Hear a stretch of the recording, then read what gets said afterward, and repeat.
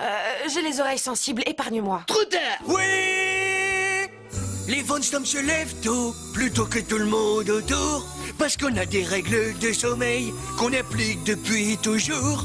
D'abord, on règle notre réveil à l'heure où on veut se réveiller.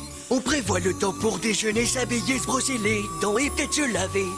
On prend soin de notre réveil, on n'est pas du genre négligent. Car si on règle le réveil un peu trop tôt, on arrive en avance tout le temps. Est-ce que ça répond à ta question? Ah oui, ça explique tout. Voilà pourquoi